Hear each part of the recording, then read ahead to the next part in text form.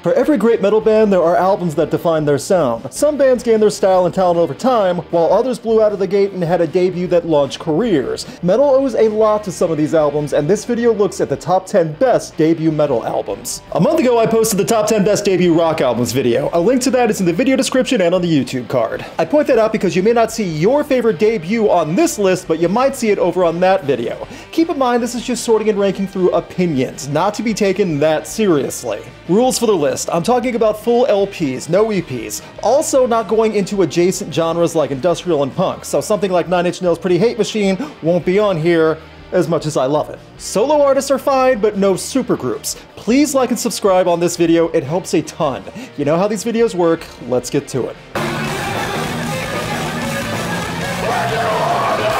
There are many bands who try to combine several metal styles while also making the sound their own. Many of those bands, in my opinion, cannot come close to matching what the Dillinger Escape Plan created in 1999. Calculating Infinity was so much more advanced for its time in 99 than most metal bands could even grasp, let alone new fans trying to understand every facet of such technical aggression. Describing Calculating Infinity and the Dillinger Escape Plan is not easy to do in one sentence. One of the true original mathcore style albums before that term had a proper definition, this was controlled chaos with endless intensity. As a quick listen, it sounds horrific. When you sit and listen to just how much it has, everything fits together. There were many lineup changes over the course of the Dillinger Escape Plan, and everyone was going to have their favorite singer or guitarist, or one-time singer, but Dimitri deserves a lot more credit for what he did, along with Ben Weinman, who was a creative genius with some of the guitar skills shown on Calculating Infinity. This took the Dillinger Escape Plan from underground to in a class of their own, as experimental as it is heavy. It's a side of extreme music that should not have been as much of a standout in 99, but the Dillinger Escape Plan were too talented to be kept silent.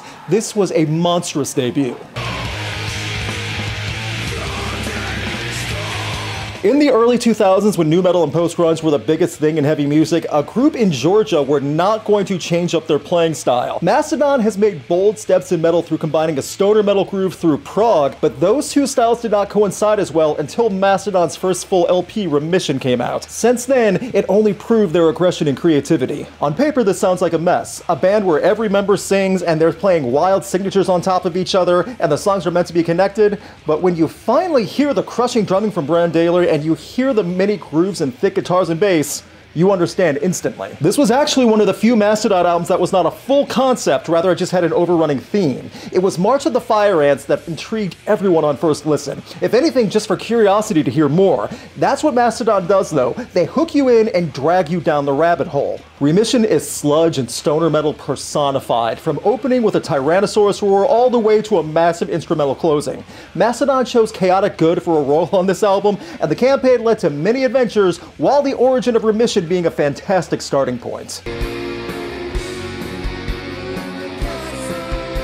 In the beginning of the 2010s, we heard the ritual that would eventually have Tobias Forge and a revolving door of nameless ghouls play arenas across the world. Ghost's debut, Opus Eponymous, was part throwback to 70s and 80s metal, part mystery with shrouding identities. An atmosphere of classic metal made modern, with lyrics about Satan while being as satanic as a Spirit Halloween store. Technically performed by only three people and recorded produced in a basement studio, Opus Eponymous started something gargantuan for Ghost. The music was recorded with only one guitar and played through an orange Thunderverb with backed up gain to get that throwback 70s sound. With limited means, Ghost got creative and it paid off. Opus Eponymous is dripping with identity, and the music written has that tone that Ghost could build and grow from. From haunting organ notes to huge riffs, this album was the sound that was missing in heavy music for a long time, up until 2010. As Ghost has become more divisive among the current fan base, one opinion that isn't a big argument is that the debut LP is fantastic. Opus Eponymous was and still is a great introduction for the legend of the many Papa Emerituses. Emeriti? It's a great introduction to Ghost, and it's still worth revisiting. What happens when you were fired from the first true metal band ever? You go out and make one of the most memorable solo albums ever. Not just for metal, but music in general. Ozzy Osbourne proved he wasn't done in 1980 with Blizzard of Ozz. It was part rebuttal to Black Sabbath after getting the boot, and part defiance to everyone saying he was too messed up to continue with music in any form. 1980 Ozzy Osbourne was the point where Ozzy's wild side was infamous around the world. Black Sabbath had to get rid of him. The bright side of this, however, is that it helped Ozzy prove to himself that he could keep going. he started working with promising young guitarist Randy Rhoads and made the best type of Blizzard ever. The opening notes of Crazy Train took the album to charting success even without good radio play at the time. Hearing Mr. Crowley with the great riffs from Randy Rhoads was massive and it made Ozzy Osbourne a megastar over time while not needing Black Sabbath to help keep him upright. Osbourne said in his autobiography that at the time he did feel he was in direct competition with Black Sabbath. Regardless of the history and chaotic life events of Ozzy's career, this album held up regardless of any internally viewed competition. Prince of Darkness kept making metal, even if he had to do it under his own name. When Ronnie James Dio took the mic for Black Sabbath, it was a massive statement. And when he made his solo album Holy Diver, he proved he could stand out with his own band under his own name. The metal world was introduced to Holy Diver in 1983, and from that point on, Ronnie James Dio went from metal icon to full-on music legend in general. Holy Diver was a true metalhead's album in the best way. In the 80s, when different types of metal were breaking out from thrash to glam, Dio kept it heavy and held everyone's respect. Holy Diver rekindled the love for many of the classic metal names from Sabbath to Ozzy, and naturally Ronnie James Dio with his own band. Do you love dark towers, wizards, and mythical wars in your metal? Then you need to be thanking Dio and Holy Diver for truly making that such a major feature.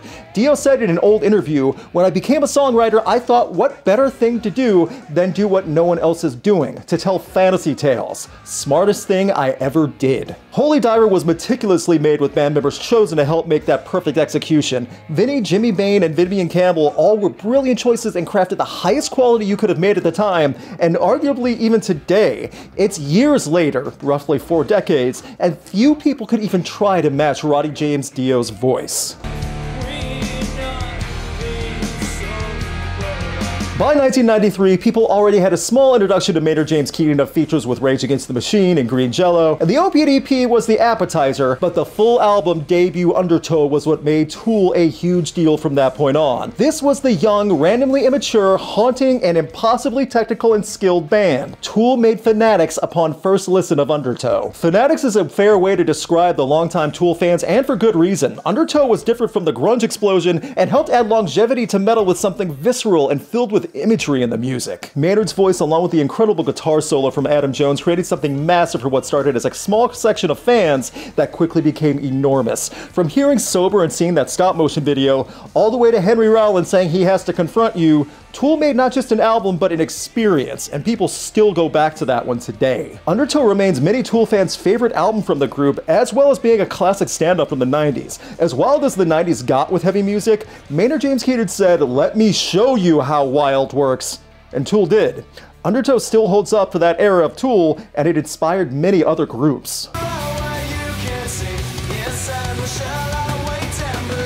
There will be an argument as to whether this is Slipknot's actual debut or the band did release Mate Feed Kill Repeat with original singer Anders and before the lineup was solidified. There were only a thousand copies distributed, while the Slipknot self-titled album made a band a household name and went platinum in several countries. Slipknot self-titled was as big of a debut as possible for any metal band. When people saw the image of Slipknot for the first time, I think many metal elitists did not give Slipknot any time of day, and non-metal fans either were terrified or thought it was a joke. The music proved the band. From the day wait and Bleed hit airwaves and was featured in movie soundtracks, fans started flocking in. Slipknot's live shows and the self-titled True debut kept those fans for decades. So many groups saw Slipknot as inspiration and idols in metal due to writing, playing, live shows, commitment, you name it. Slipknot self-titled is the reason it's worth being called a maggot. This is an album that technically took nu metal into much heavier and darker territory as well. While Slipknot would evolve in sound over the years, the debut is still appreciated for what it accomplished in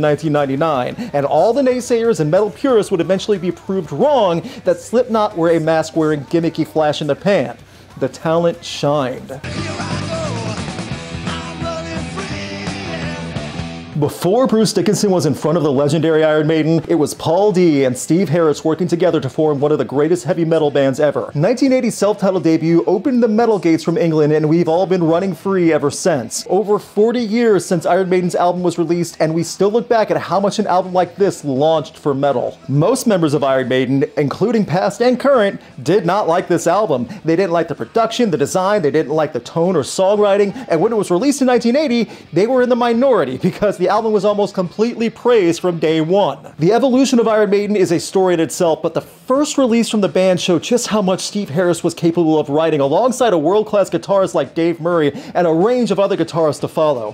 From instrumentals to Phantom of the Opera, Harris proved his creativity. He also proves that bassists can be the brains of a band. It's true that you don't hear many Iron Maiden fans or metalheads say the self-titled is their favorite Iron Maiden album. You also hear the same people tribute just how much came out of 1980 with this metal sanctuary.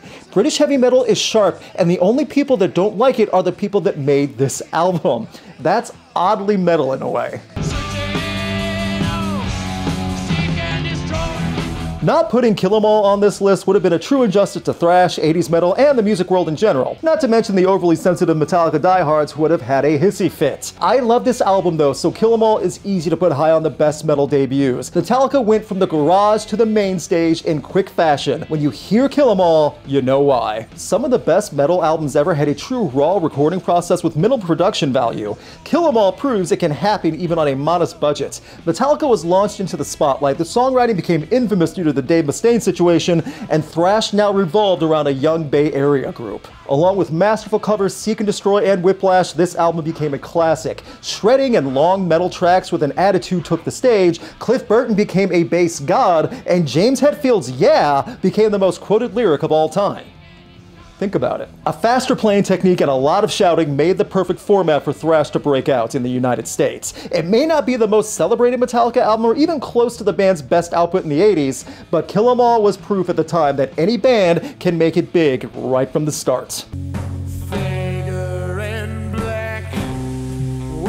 Just like this list, metal itself would not exist without the foundation that Black Sabbath laid in 1970. Recorded in less than a day, a testament to the band's skill, Tony Iommi created something unique at the start of the decade. Beatlemania was over, bigger rock bands were emerging, and when Tony found Ozzy Osbourne, rock would not be enough. Metal had to become its own separate world. In that 12-hour recording period, the self-titled Black Sabbath album was proof that you can get to work with great company and make something legendary in fast order. The opening minute of the title track has the perfect ominous build to what would be the base for multiple musicians, future bands, and how metal would grow from 1970 onward. This is an album that could feature a song about Gandalf and a song from the perspective of Satan and make them belong together. The dark imagery and the fantastical world that many metal bands indulge in both have roots toward Black Sabbath's debut. Then take into account just how good Iommi, Butler, and Ward were. You hear each member's presence in their playing through the album, all while Ozzy Osbourne became royalty with his performance. This is an album that defined a band, defined a genre, and horrified every Christian mother in the world. That makes it a masterpiece. There are many reasons why, over 50 years later, Black Sabbath the album is still pointed to as a crucial part of music history, not just heavy music history.